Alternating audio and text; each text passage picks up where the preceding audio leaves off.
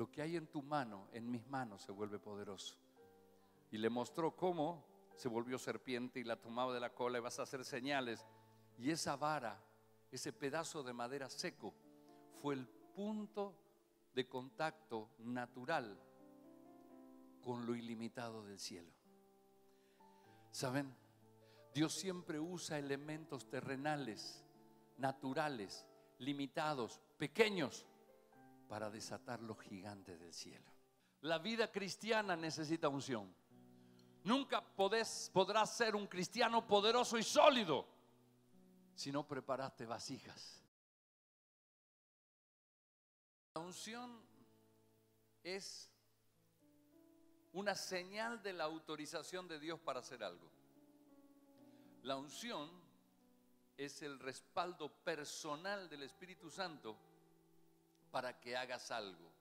La unción no es para hacer cosas naturales, sino para que se manifiesten cosas sobrenaturales en las cosas que estás haciendo aquí en la tierra. La unción.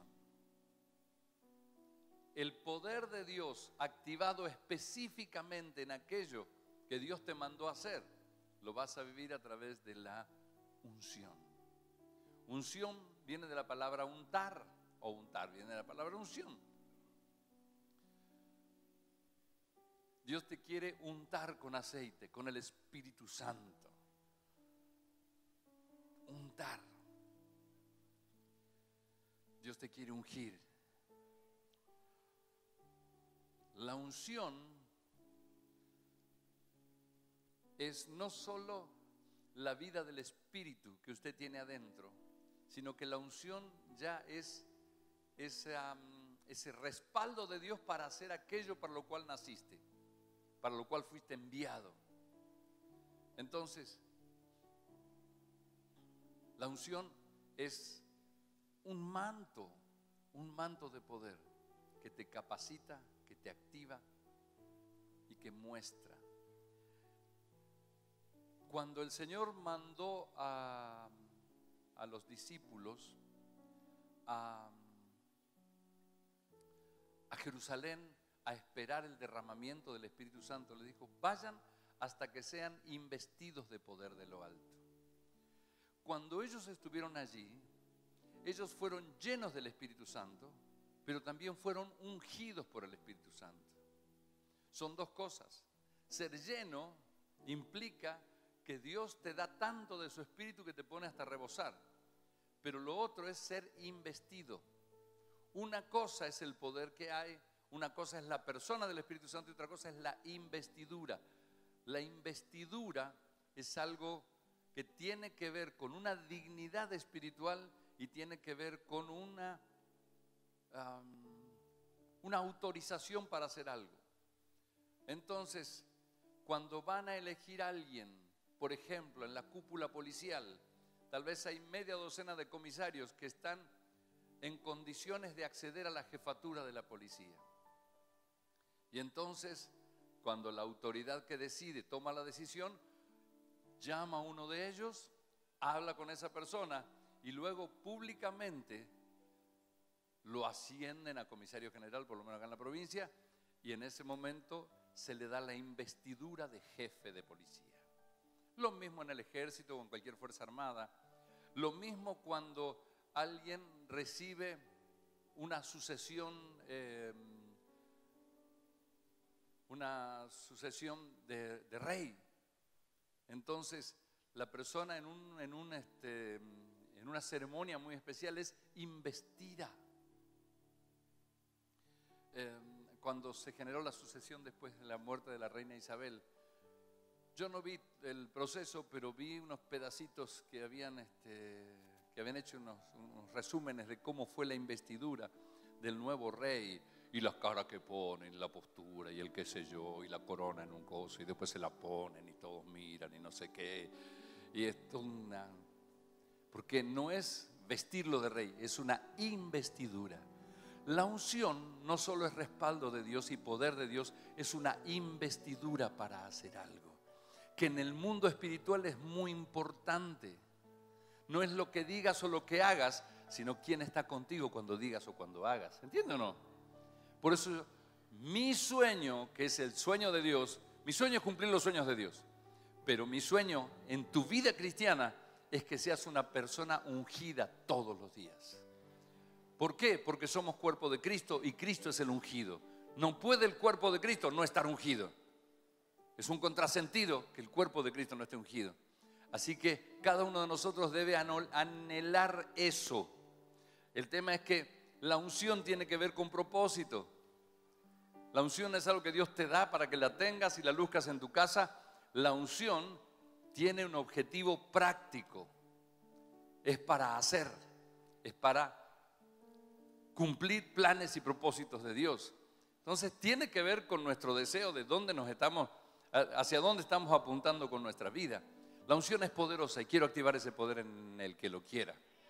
De ahí de los conectados, ¿quién lo quiere? Yo no lo puedo ver a usted, pero Dios sí lo ve ahí donde usted está y dice, yo quiero. Zacarías 4:6 hace una referencia clara a la unción cuando se trata de la obra de Dios. Bueno, pero yo no soy pastor, pero salvar a tu familia es la obra de Dios. Vivir una vida cristiana sin derrotas es una obra de Dios. Solo se logran este tipo de cosas caminando bajo la unción. Zacarías 4:6 entonces respondió y me habló diciendo, esta es palabra de Jehová a Zorobabel, el edificador que Dios había llamado que dice, no con ejército ni con fuerza, sino con mi espíritu, ha dicho Jehová de los ejércitos.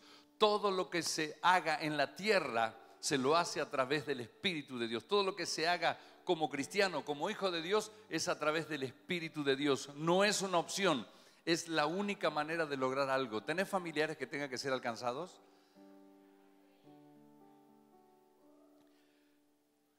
¿Se verá que conseguimos algún buen manual cómo ganar a mis parientes para Dios y con eso lo hacemos?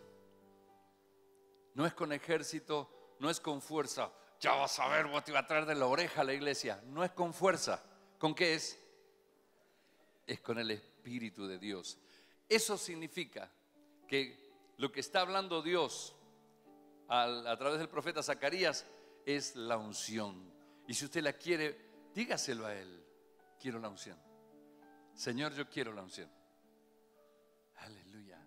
Hay como 10 que van a recibir la unción. Quiero, quiero la unción. Aleluya.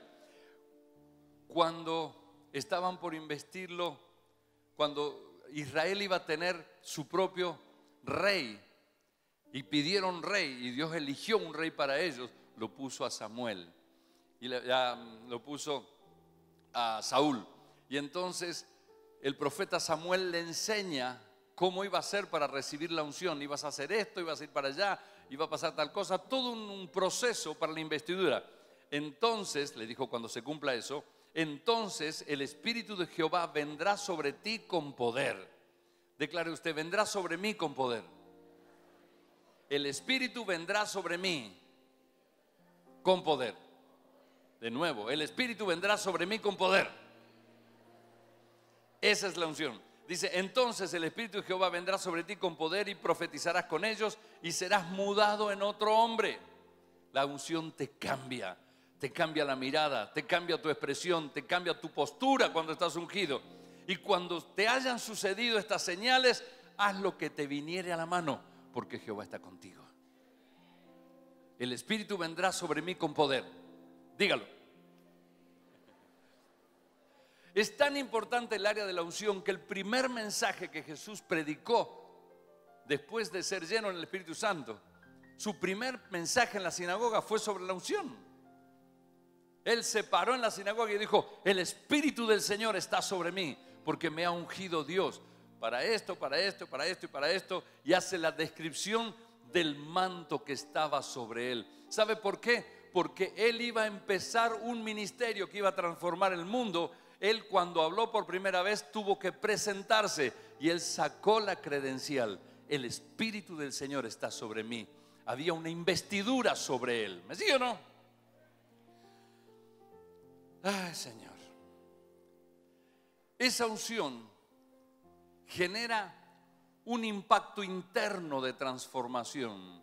Me encanta la descripción de cómo el Ezequiel, el profeta Ezequiel, recibe la unción y lo describe de una forma muy fresca. Está hablando Dios con él y le dice, me dijo, hijo de hombre, ponte sobre tus pies y hablaré contigo. Y luego que me habló, el Espíritu, entró el Espíritu, con mayúscula el Espíritu Santo, y luego que me habló, entró el Espíritu en mí y me afirmó sobre mis pies y oí al que me hablaba. Dios le dijo, levántate, que voy a hablarte. Y él obedeció esa voz. Y dice que al instante el Espíritu entró. Él tuvo una experiencia de decir, me estoy llenando como si fuera un vaso. Ese fue el impacto de la unción sobre él. Entró el Espíritu en él y me afirmó sobre mis pies. Quiero decirte que los ungidos son invencibles. Los ungidos no los pueden tirar abajo a menos que pierdan o entreguen o menosprecien su unción. Pero cuando estás en la unción de fuego, esa unción es para ti. ¿Lo quieres o no lo quieres? Aleluya, gracias Señor por eso. La representación de la unción es el aceite. Muchas veces la Biblia habla de aceite haciendo referencia al Espíritu Santo. Ahora, ¿Cómo hacemos para que la unción venga a nosotros? Estuve, estamos con mi esposa leyendo un libro sobre la unción, donde dice, la unción no se la puede aprender, no se la puede enseñar, no se la puede explicar. La unción hay que atraparla. La unción hay que capturarla. Cuando uno se pone cerca del ungido, la unción hay que agarrarla cuando uno tiene contacto con la unción de alguien, usted puede ir y recibir un milagro o puede recibir un milagro y recibir la unción del que está soltando el milagro. Es me pongo, lo busco y lo quiero. Entonces, ah, yo amo atrapar la unción. Con mi esposa hemos hecho y hacemos viajes y cosas con tal de ir a atrapar la unción. Y les digo que yo soy una persona prudente, respetuosa, no paso los semáforos en rojo, no me gusta hacer las cosas como tiene que ser. Pero cuando se trata de la unción, si hay que empujar, empujo. si hay que correr a alguien, lo corro. Si hay que poner el codo para meterse, porque aprendimos que hay que atrapar la unción, hay que capturarla. Entonces, lo hemos hecho por video, por teléfono, en viajes, golpeando puertas, apareciéndole de sorpresa algún ungido, diciéndole, quiero la unción. Eh, en el tiempo del avivamiento de Pensacola, con mi esposa nos hemos metido por los pasillos para ser orados por el hombre de la unción y atraparle la unción. Y un día nos fuimos y le aparecimos en el estacionamiento al hombre que Dios estaba usando en Pensacola. Nos había orado 20 veces pero yo tenía una voz de que ese era el día en que me tenía que impartir, la tenía que atrapar. Y ese día justo no me oró. En ese viaje no me oró. Y le arrimamos, le hice seña, todo así, nada. Y con Alicia, como ya nos habíamos, conocíamos a varios adentro, nos empezamos a meter, pasamos atrás de la plataforma, nos metimos por un pasillo, nos fuimos por allá, y lo vimos salir. Abrió la puerta y salió al patio para subir a su auto. Y ahí le aparecimos. Quiero la unción. Y él se corrió de su auto, se sonrió, nos metió la mano, ta, ta, y no me acuerdo más. Solo sé que después estaban los que habían ido con nosotros en el viaje, abro los ojos así y ellos me estaban todos mirando desde arriba, así yo estaba tirando el pasto. Es capturarla, es capturarla. Yo siempre me ministro escuchando y viendo videos a veces los domingos entre un culto y otro, no estoy en la mesa acá con los líderes, que yo me encierro y estoy viendo videos, estoy capturando la unción. Con mi esposa nos ponemos a ver cosas que nos, de, de hombres ungidos que amamos y sentimos cómo lo vamos recibiendo y lo vamos capturando. ¿Saben? La unción tenemos que atraparla, tenemos que recibirla entonces, una de las marcas para ser un ungido, una ungida de Dios, es anhelar, desear, querer la unción con todas las fuerzas. Eliseo había caminado con Elías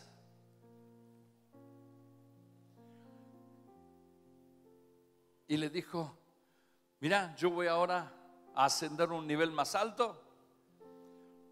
Pedime lo último que quieras, he hecho milagros para todos, siempre estamos haciendo cosas para la gente. ¿Qué querés vos? Quiero una porción doble de tu unción.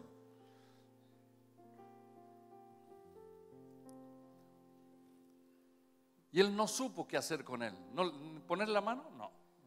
Explicarle, ya sabe todo. Enseñarle a hacer milagros, a moverse en la unción. Él me acompaña hace años. Mira, cosa difícil has pedido.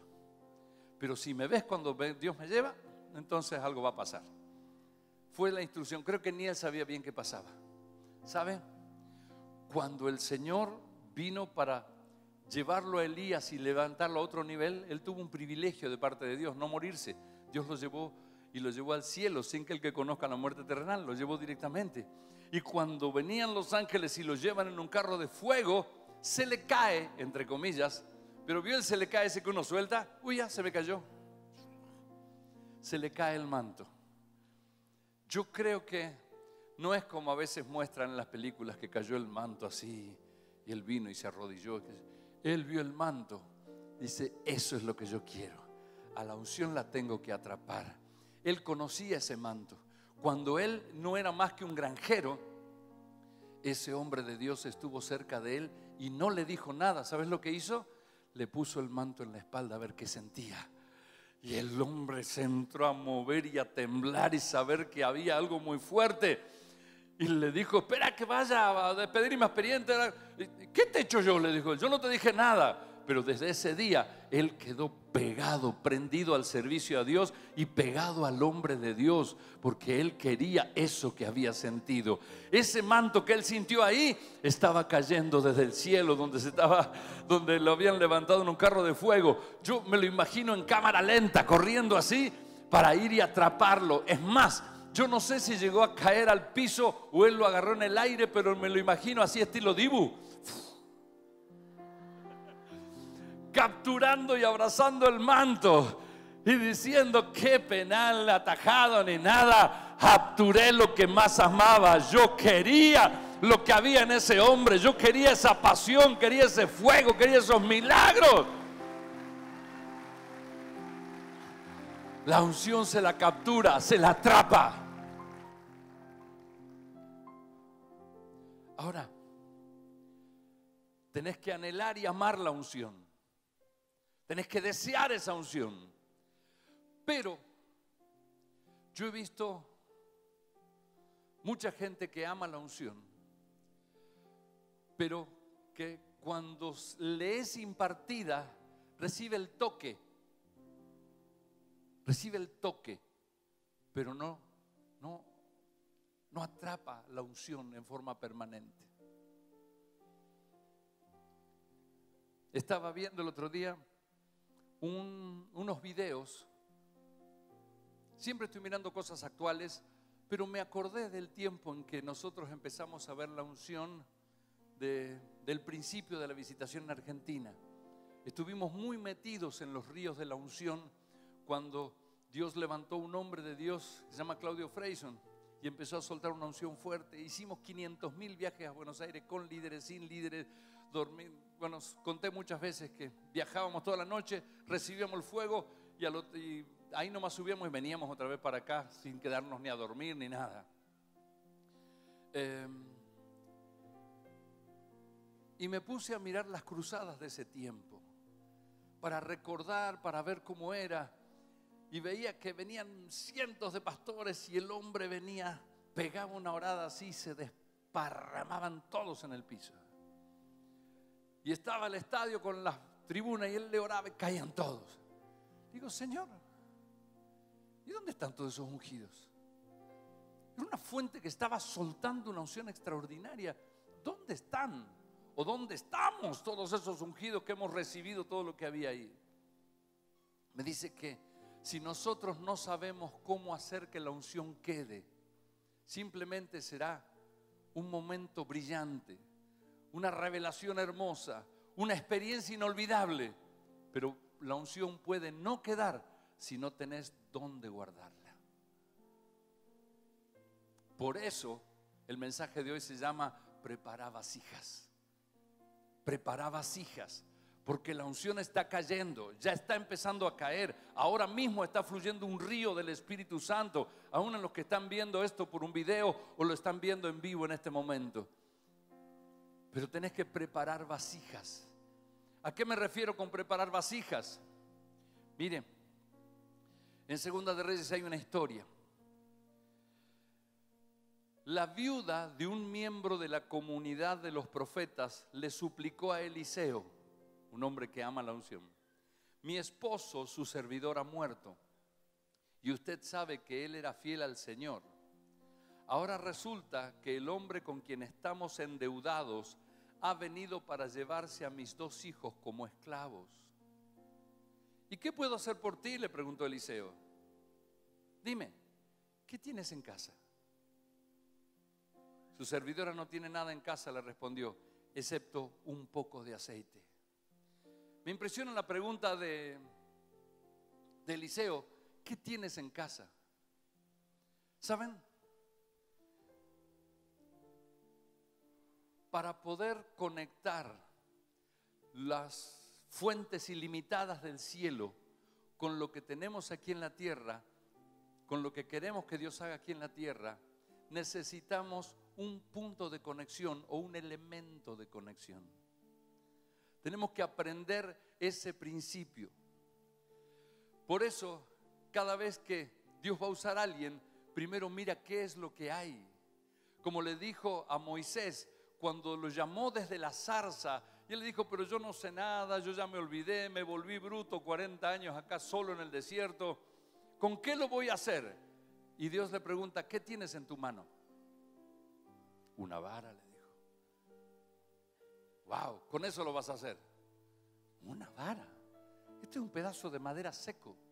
Fue útil cuando me quisieron correr los lobos, les pegué unas garroteadas y se fueron. Me sirvió dos veces que casi me caigo me apoyo así y yo camino en el desierto con esta. Mi vara me es útil, pero para liberar a una nación de la esclavitud del rey más poderoso de la tierra, no, eso es mucho lo que hay en tu mano, en mis manos, se vuelve poderoso. Y le mostró cómo se volvió serpiente y la tomaba de la cola y vas a hacer señales. Y esa vara, ese pedazo de madera seco, fue el punto de contacto natural con lo ilimitado del cielo.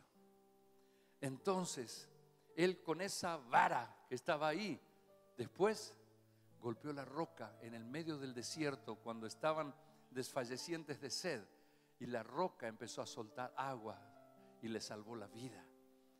Cuando el ejército de Faraón, después de haberlos liberado, se arrepintió y mandó para que los aniquilen a todos o los traigan de vuelta a la esclavitud, ellos venían y no podían escapar porque estaba el mar rojo. Ese pedazo de madera seca, Él lo levantó contra el mar y ¿sabes lo que pasó? Dios abrió un camino para que ellos sean salvados y les salve la vida. ¿Saben? Dios siempre usa elementos terrenales, naturales, limitados, pequeños, para desatar los gigantes del cielo. Es un principio espiritual. Entonces, em, por ejemplo, Jesús estaba enfrentando la necesidad de, de ver que 20 mil personas, una cruzada enorme en el medio de la nada, en el desierto, de Judea no tenían que comer. Y él dijo, denle ustedes de comer. no, denle ustedes de comer. Ellos dijeron, nos están probando, quiere que usemos los recursos del cielo, quiere que hagamos y activemos un milagro. Le dijo, perfecto, ¿qué hacemos?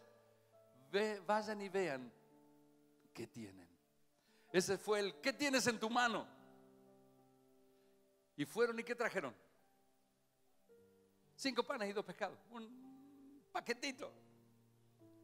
Esto es lo que tenemos. Y uno de ellos dijo, pero ¿qué es esto para tantos? Esta pequeñez es el contacto natural que se conecta con el cielo. Es el punto de contacto con todo lo que te hace falta. Y el Señor lo tomó, dio gracias por eso pequeñito y lo convirtió en alimento para más de 20 mil personas porque juntaron 12 canastas de sobras después de eso. Entonces, cuando Elías, cuando Eliseo habla con esa mujer y le dice, tengo que pagar mi deuda, se quieren llevar mis hijos como esclavo, ¿y qué voy a hacer yo? Y ahí se acuerda. Dice, ¿qué tienes en tu casa? Necesito el punto de contacto.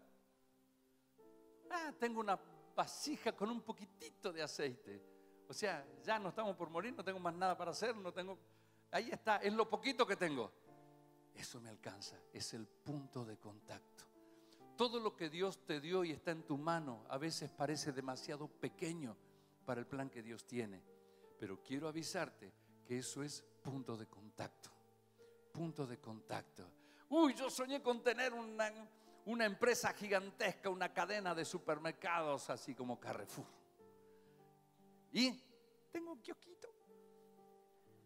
Puede ser tu punto de contacto. Es tu punto de contacto. Ponerlo en las manos de Dios para que Él active el aceite del cielo. Y nada te va a detener, nada te va a parar.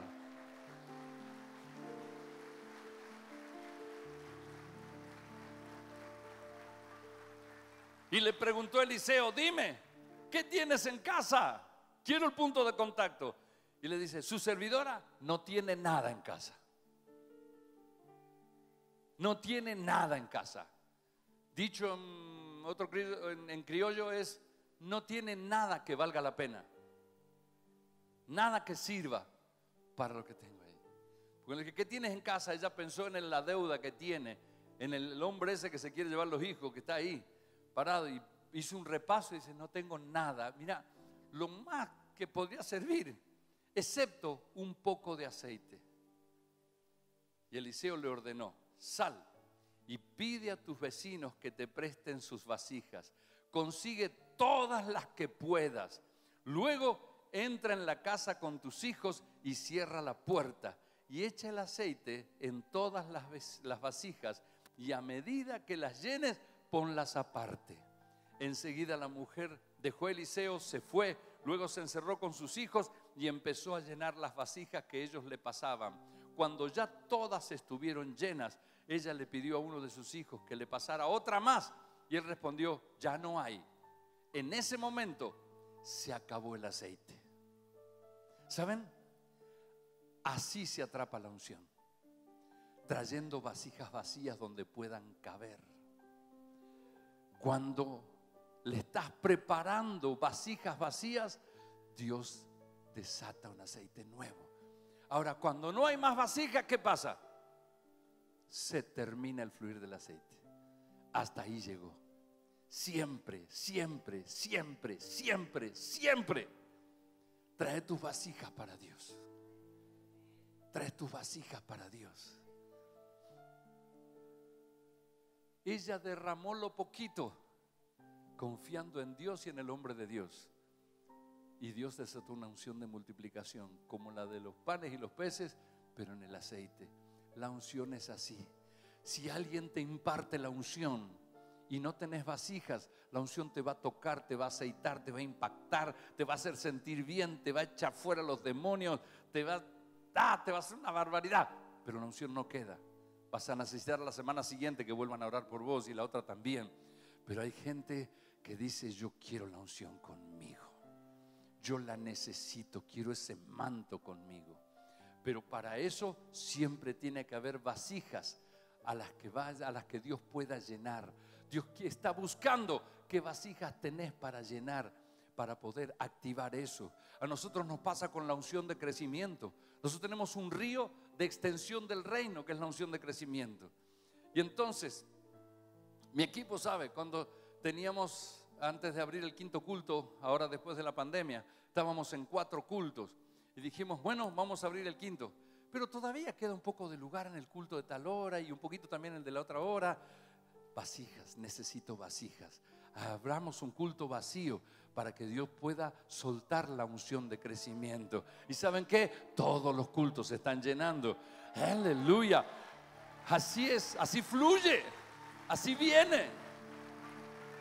Ahora cuando estuvimos en el portal, dije, qué ganas de hacer un solo culto, así lo vemos a reventar y nos conocemos como iglesia todos juntos en el mismo momento, pero no hubiéramos entrado todos juntos.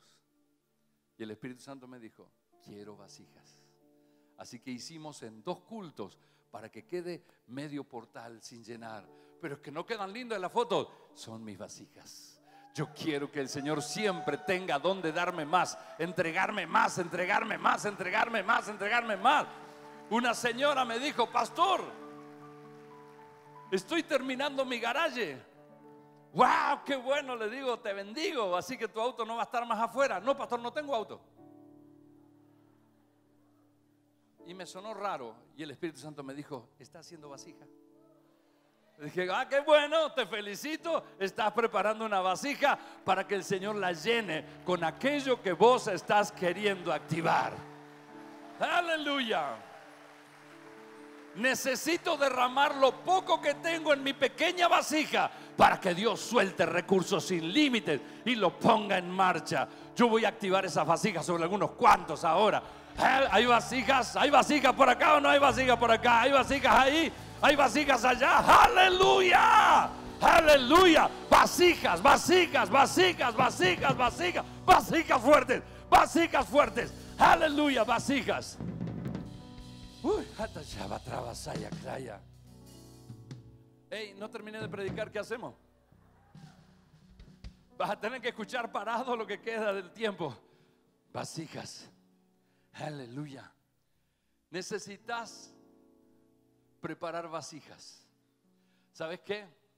La vida cristiana necesita unción. Nunca podrás ser un cristiano poderoso y sólido si no preparaste vasijas. Por eso el Señor enseña en Mateo 25 que había cinco de las diez damas de compañía o de las diez vírgenes que eran prudentes, cinco insensatas. Las insensatas tomaron sus mal lámparas y no completaron las vasijas. Mas las prudentes, escucha, tomaron aceite en sus vasijas juntamente con las lámparas. La, diferente, la diferencia no eran lámparas llenas, todas llevaron lámparas llenas llevaron aceite en sus vasijas. Llevaron aceite en sus vasijas juntamente con sus lámparas. Aleluya.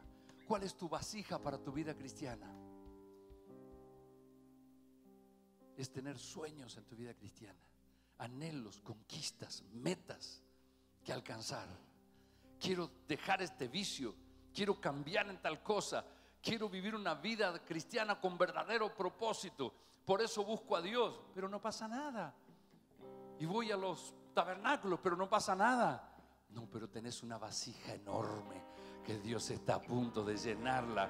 Y cuando venga el derramamiento, aquel que te dice, yo vivo igual que vos y nunca voy a los tabernáculos ni oro, va a caer la unción sobre los dos y al otro solo será un toque y vos tendrás una vasija de oración, de búsqueda, de persecución a Dios para recibir eso que Dios te daba.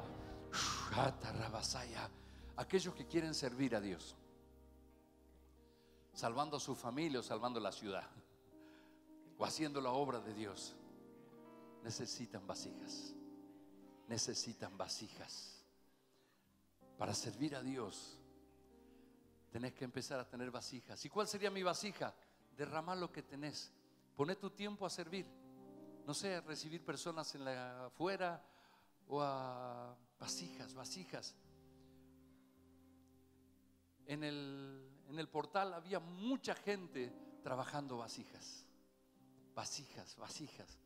Gente cuidando el estacionamiento y ordenando autos mientras los despachos están disfrutando la unción adentro. Hay tierra y se, embarran y la seña y los, de los coches que a veces no son muy pacientes porque tienen que esperar y se ligan unos retos, no reciben un centavo pero preparan vasijas para el ministerio. Cuando cae la unción, Dios dice, a este lo voy a usar.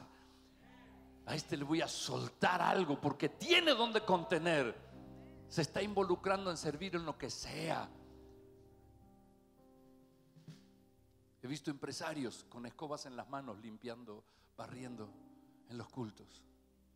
Digo, Señor, míralo. Vasija, está preparando vasija para el servicio. Lo voy a usar. Aleluya. Algunos quieren la unción para sanar enfermos. Prepare vasijas para sanar enfermos. ¿Qué hace? Derramar lo poquito que tenés. Derrama palabras de esperanzas. derramá eh, oración por enfermos, pero no se sanan. Son vasijas. Yo los busco, me voy al hospital y le oro a todos. Vasijas. Antes de tener la iglesia me iba al hospital dos veces por semana. Y me metía por ahí. No vi ningún milagro. Nunca. Pero el día que se soltó, aleluya, no solo veo muchos milagros, sino que se levantaron hombres y mujeres de milagros. Porque la vasija, lo que haces en Dios no es en vano, aunque no lo veas. Para crecer en pureza, en santidad, necesitas vasijas. La unción de la integridad de Dios, la unción de santificación, para ser libre de hábitos corruptos, para ser libre de vicios, de ataduras. Derrama tu determinación y pelea contra ese pecado que nunca pudiste dominar tal vez. Pelea y vas a ver la victoria. Aleluya. Si tenés la determinación de salir de la escasez o de salir de las deudas, prepara una vasija. Derrama una pequeña ofrenda de tu vasija limitada. No tengo nada más que estas gotitas de aceite. Soltalas porque Dios va a empezar a llenar todas tus vasijas. Viene el tiempo de Dios de llenado de vasijas. Viene tiempo de Dios de llenado de vasijas. El Espíritu Santo está fluyendo. Tienes que estar dispuesto. Para eso pensar, ¿para qué quiero la unción? Señor, necesito la unción de riquezas para recursos para el ministerio. Necesito la unción de, dones sobrenaturales. Necesito la unción para predicar. Necesito la unción para, Señor, vasijas. Para vivir mi vida cristiana lleno del Espíritu. Ahí está, ahí está, ahí está, ahí está, ahí está, ahí está. Nadie me diga que quiere vivir como un ungido de Dios, lleno del fuego de Dios y no viene a orar o no tiene tiempo de oración en su casa, ni viene a un tabernáculo, jamás. Estoy hablando de decir, Señor, aquí estoy. Estaba hablando con uno de mis discípulos que me parece que uno de los que más ayuna acá. Me dice, hoy estoy de ayuno otra vez. Y el Espíritu Santo, vasijas, vasijas, vasijas, vasijas, vasijas, vasijas, vasijas. Ofrézcale algo al Señor. Así como un jovencito le ofreció sus cinco panes y dos peces. Así como la viuda le mostró que tenía ese poquito de aceite en su vasija. Así como la otra viuda tenía un poquito de harina para hacer una torta. Una torta parrilla. Ahí está, ahí está, vasijas. Ofrézcale al Señor lo que tiene. Ofrézcale, yo tengo poquito tiempo. Ofrézcale a Dios ese poquito tiempo. Ofrézcale servicio, ofrézcale. ¿Qué tienes? ¿Cuál es tu punto de contacto? Ofrecerle tu negocio a Dios y decirle, Señor, convertilo en un generador tremendo de recursos para tu obra.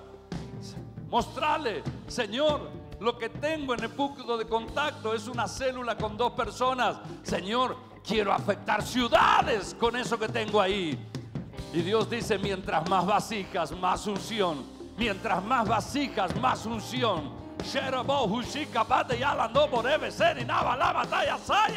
Ahí viene, ahí viene, ahí viene, ahí viene, ahí viene, ahí viene, ahí viene, ahí viene, ahí viene.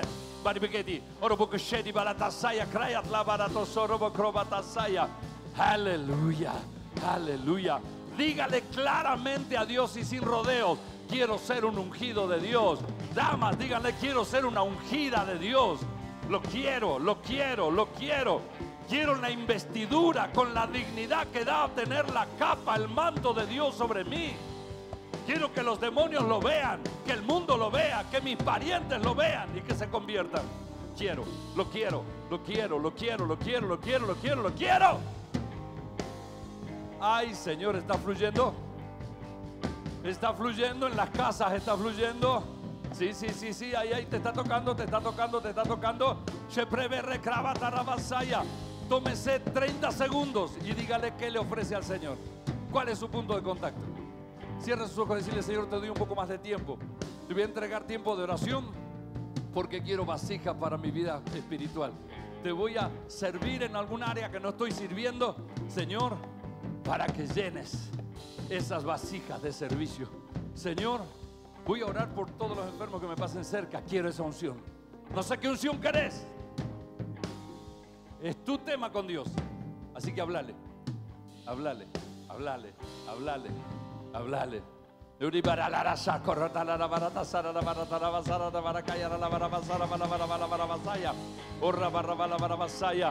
Siempre el punto de contacto es una entrega, es algo, es una ofrenda de tiempo, de dinero, de vida, de decisiones. Y lo que entregues hoy no va a ser lo único. Dios te va a mostrar otras vasijas que quieres llenar, otros llamados que quiere hacer contigo. Ahora, ahora, ahí está, ahí está. Comenzó a caer, comenzó a caer, comenzó a caer. Los que están hambrientos de Dios comienzan a recibir ahora. Allá, allá, allá, allá. Hasta el último, hasta el último, hasta el último, allá, hasta el último.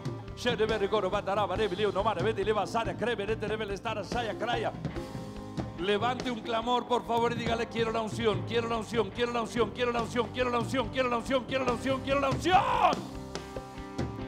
Dígalo, clame.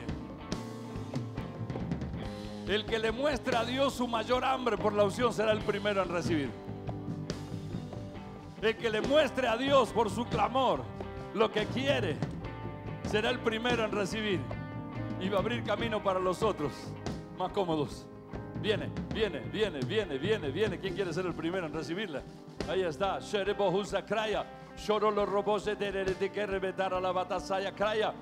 Dios me dice que ve muchas vasijas que ya las tenías preparadas. Tu vida estuvo preparando vasijas. Algunos dicen, ¿para qué hice esto? Estabas preparando vasijas, vasijas, vasijas, vasijas, vasijas. Ahora, ahora, ahora, ahora. Ahí está, ahí está, ahí está, ahí está, ahí está. Ahí empezó, ahí empezó, ahí empezó, ahí empezó. Empieza por acá y va por las sillas, va hasta allá, hasta el balcón. Allá va, va por este costado, va, va, va hasta la avenida. Allá va, allá va, allá va, allá va, allá va, allá va. Dios se está moviendo, se está moviendo, se está moviendo, se está moviendo.